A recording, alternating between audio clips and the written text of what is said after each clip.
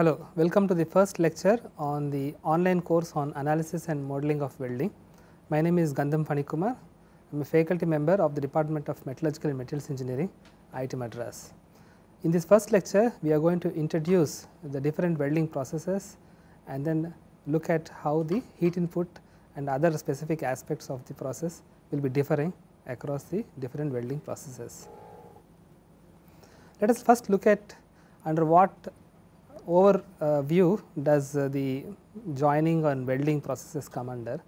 We have basically a large number of manufacturing processes which can be categorized broadly as casting processes which are the primary manufacturing processes such as ingot casting, shape casting, powder metallurgy etc. And then forming processes where we uh, change the shape by using processes such as uh, forging, extrusion, drip drawing, sheet metal forming etc. And then we have machining processes which are somewhat like material removal processes which include turning, boring, drilling, milling, grinding etc. Advanced processes such as abrasive jet cutting and water jet cutting etc. also fall under the machining processes. And it is in this broad category that joining processes also come and they can be called as fabrication processes because they are used to fabricate a large part from several small parts. So, the large number of joining processes exist and they can be categorized broadly again uh, into the following categories. Uh, mechanical fastening is a fabrication process where the different parts are joined together uh, mechanically uh, without a metallurgical bond between the two parts that are being joined. We also have adhesive joining where dissimilar parts can be joined uh, using uh, epoxy and various polymeric materials. Uh, brazing and soldering are joining processes that are of importance to materials where the melting points are very different and it is the um, filler which will join these two uh, mating parts rather than melting of the two mating parts. The difference between brazing and soldering is basically a definition of temperature 450 degrees centigrade is arbitrarily chosen as a cutoff. So, a process that works below 450 degrees centigrade can be called as soldering and the process that works above can be called as brazing. So, welding comes under this broad set of uh, processes. Okay. So, welding is one of the fusion processes that come under this broad category and welding processes again can be categorized by uh, different uh, source of uh, joining. the first set is by arc welding where there is a an electric arc that is used to join the two materials. I have given the acronyms here as per the AWS American Welding Society specification. So, there are several arc welding techniques such as uh, shielded metal arc welding which is also called as stick welding or manual metal arc welding. And then GMAW gas metal arc welding which is also referred to as MIG welding metal inert gas welding which is an automated process. GTAW which is also referred to as TIG welding gas tungsten arc welding and SAW which is submerged arc welding, FCAW flux cored arc welding and then PAW plasma arc welding. So, there are so many different varieties that are possible using electric arc as a heat source. We have also uh, processes that use resistance uh, electrical resistance to join the materials. So, we have spot welding, seam welding, projection welding etc. Uh, the welding uh, does not require actually the materials to be completely molten. So, solid state uh, welding also is possible. So, we have processes such as ultrasonic welding, friction welding, explosive welding etc., where the fusion uh, is not explicitly caused. And then we also have specialized processes where the uh, melting is initiated by using a beam of high energy. So, we have LBW that is laser beam welding and EBW that is electron beam welding as processes that use a uh, high energy beam to lead to the welding process. And these welding uh, geometries uh, can then be looked at by looking at the type of joints. So, here are 5 uh, joints that are usually referred to. This is essentially to make the terminology familiar to you as we use these names later on. So, what is normally referred to as a butt joint is essentially when the two mating parts are juxtaposed be, uh, beside each other and then the joint is made. Lap joint is where the two mating parts are kept on top of each other and then the joint is made. A T joint is where the mating parts are uh, configured to look like a T and then a corner joint where they are kept at an angle to each other and then at the edge they are then joined. Edge joint is basically again a joint where the two mating parts are initially kept in the butt geometry, but then are folded up so that they can be joined along the edge rather than along the plane.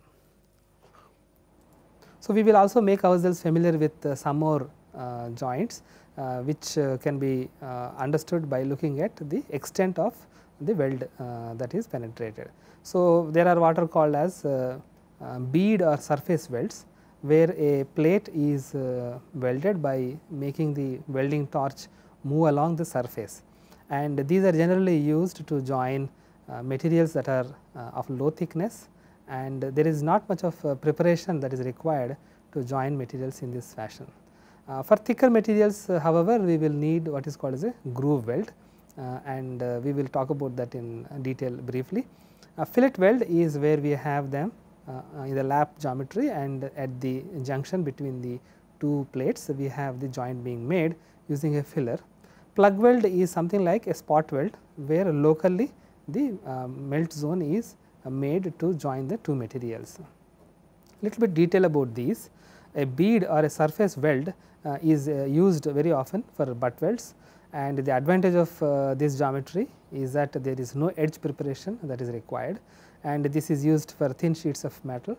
And this is also used for example to build up surfaces. So, if you want to repair a part then you can remove uh, some material by gouging or any metal removal process and then the material can be built up at the same location again by making a bead on top of the material. We also can actually deposit uh, different materials on top of uh, objects that require a different property on the surface by using what is called as a weld overlay.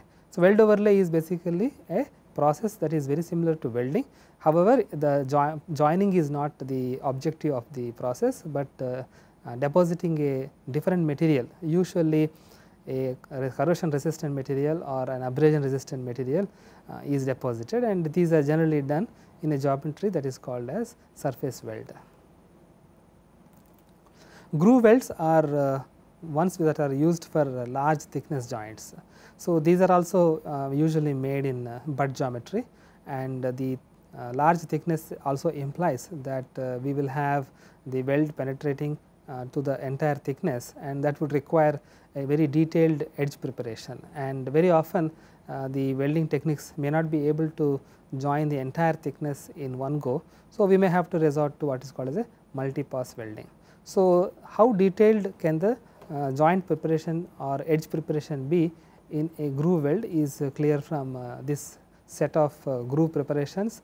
The image has been taken from Wikipedia, but these joints are uh, names are used in the literature quite commonly.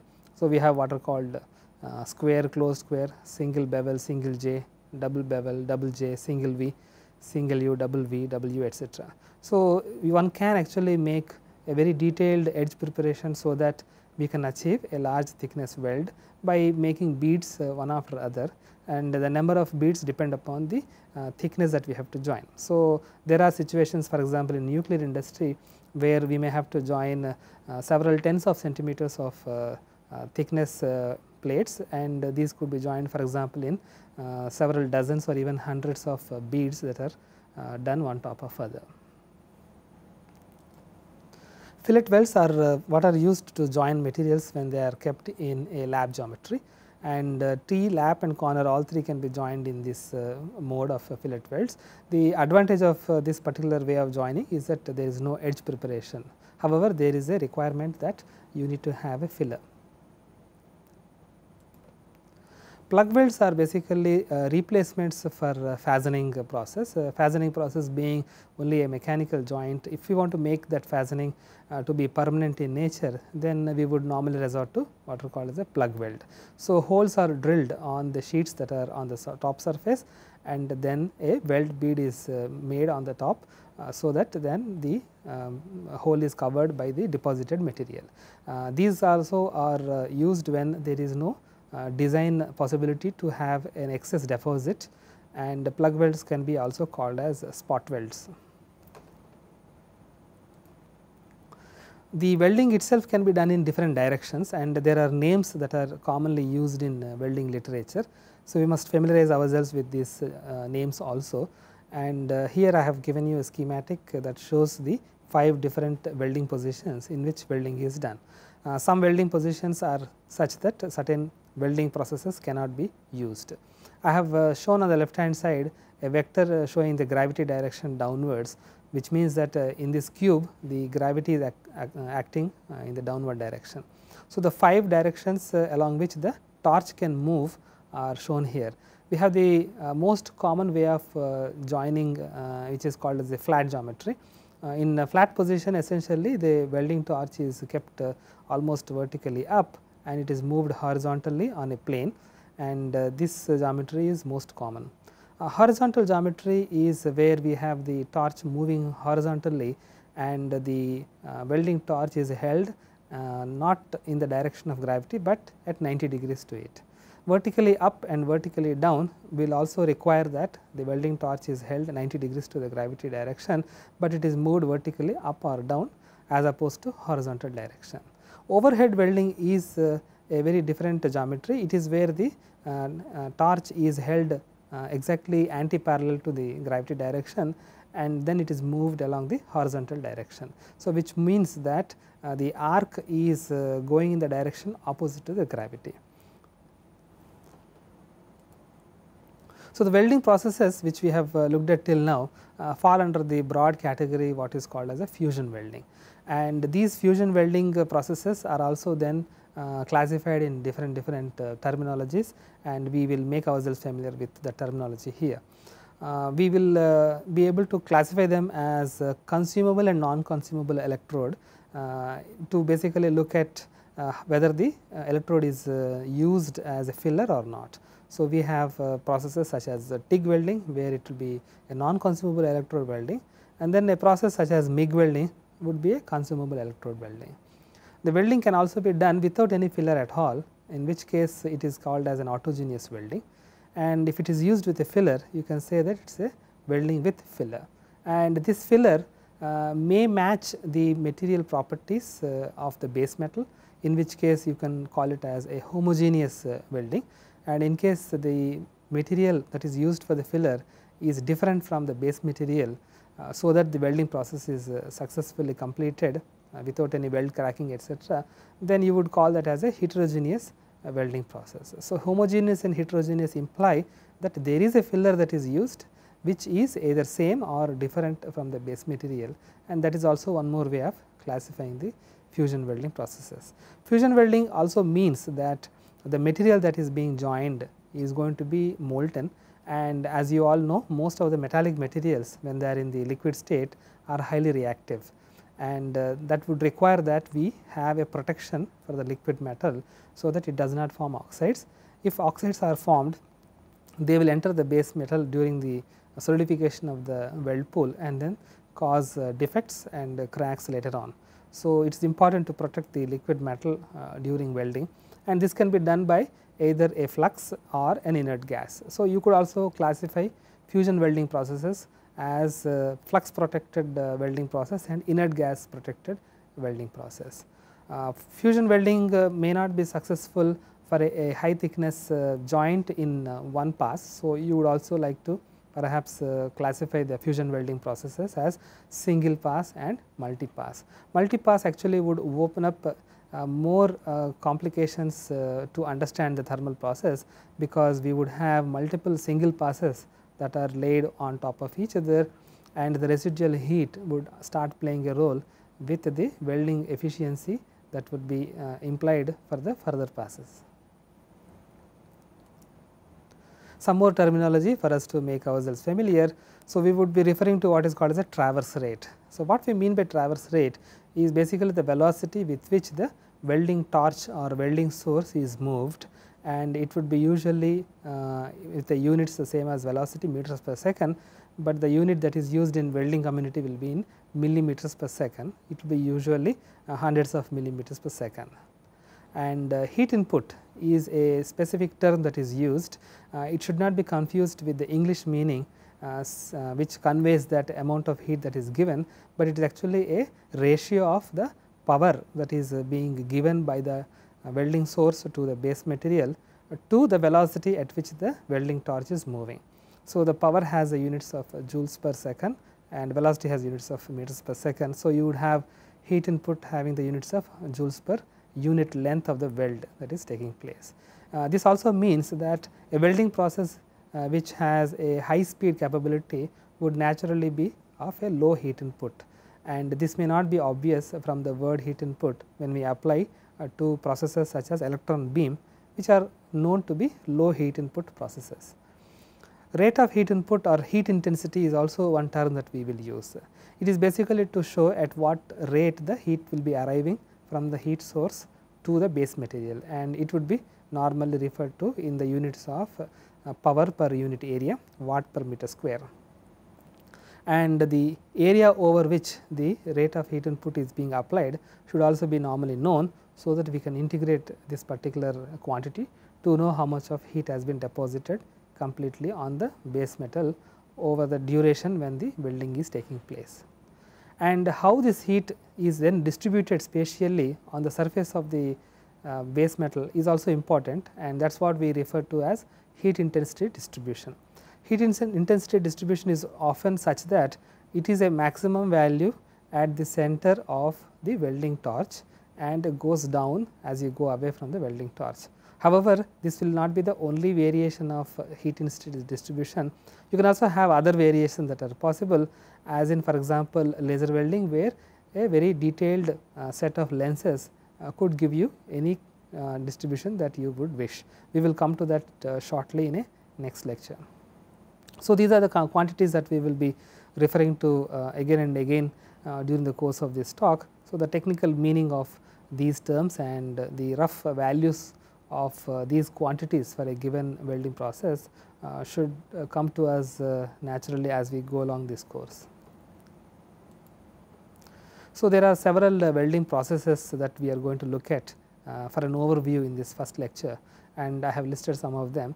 This is not a comprehensive list of all the processes uh, that are important in the industry, uh, but it would give you a fairly large uh, set of processes that would cover what would what would be happening in the industry. So, these are the processes we are going to look at uh, shielded metal arc welding, uh, gas metal arc welding, uh, tungsten uh, arc welding, plasma arc welding, uh, submerged arc welding, electron beam welding and laser beam welding. So, before we proceed further with an overview of all these uh, welding processes, it is important for us to look at how the uh, electric arc is generated and how it is sustained and then how that is playing a role as a heat source. So, here is the detail we have uh, the geometry on the right hand side in the schematic showing you that there is an electrode and uh, what is coming out uh, sharply below is the electrode which is uh, usually uh, tungsten in the case of non consumable electrode and it is the same material as the filler that is used as a wire and workpiece is shown at the bottom.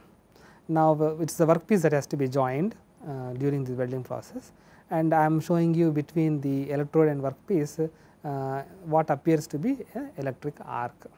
So, there must be a polarity that must be applied for the electrode and workpiece and usually workpiece will be given a connection to the earthing and electrode will be then given a voltage either positive or negative as the polarity would require and uh, the both electrode and workpiece have to be conductors of electricity. So, that upon application of voltage and a small gap that separates between the two an electric arc can be struck and this arc uh, should then be uh, ionizing the uh, gas that is present in between the electrode and the workpiece which usually will be argon or helium as you may choose and the ionized gas would then start moving the energy from the electrode onto the workpiece.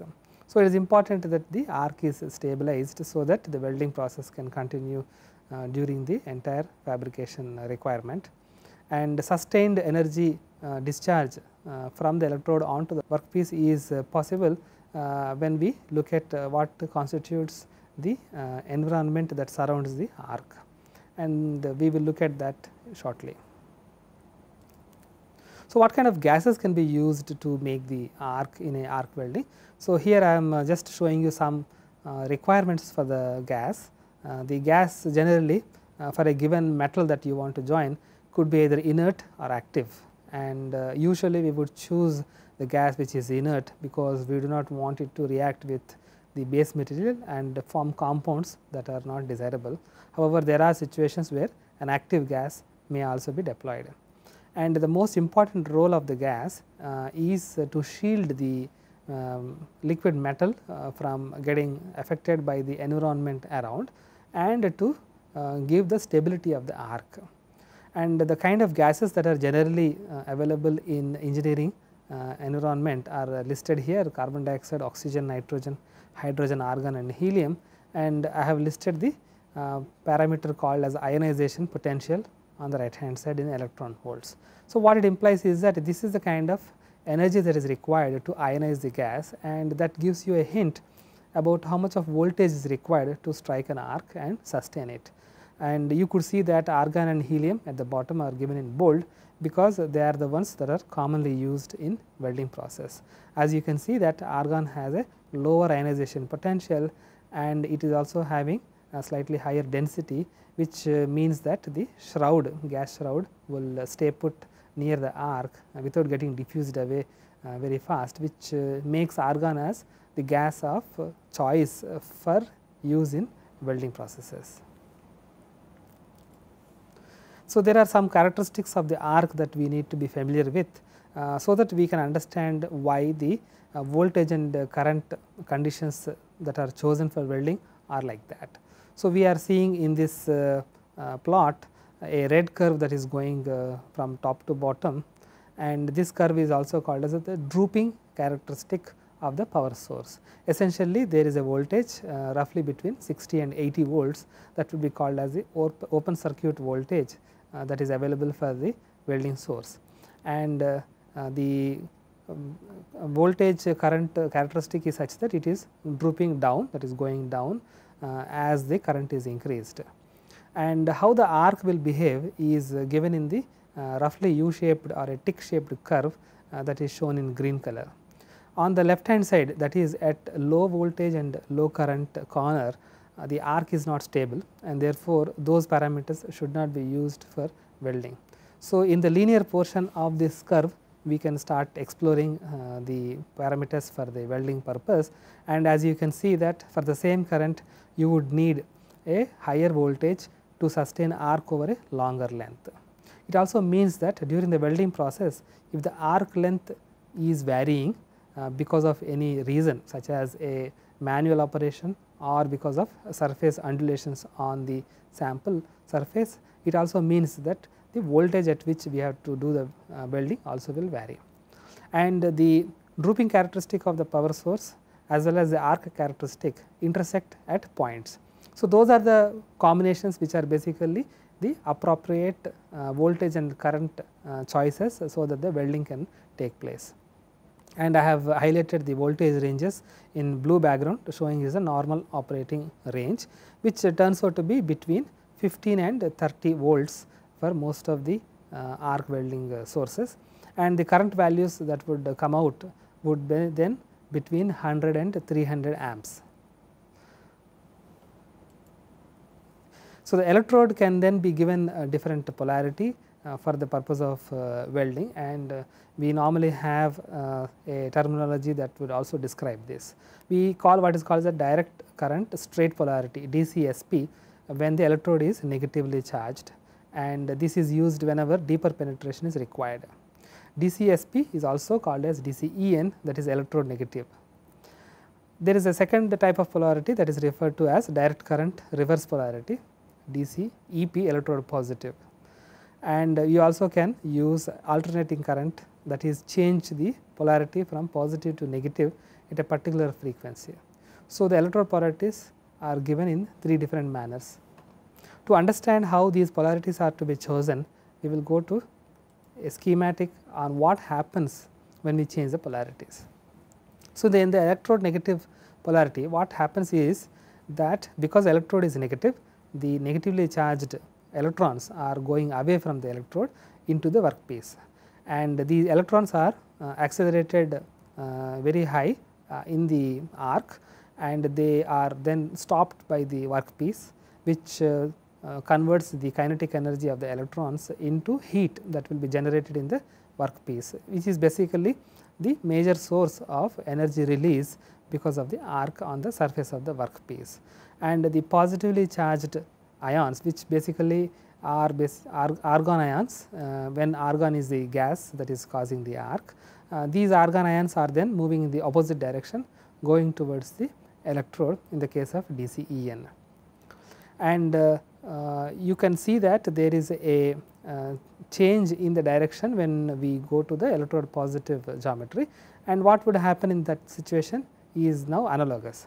What happens when the electrode is positive is that the electrons which are uh, having high amount of kinetic energy are then getting absorbed in the electrode which means that the electrode is uh, going to have more energy generated in its uh, surface and it may cause the electrode to heat up fast and may even melt which means that this is not recommended uh, polarity when you have a non consumable uh, electrode welding process.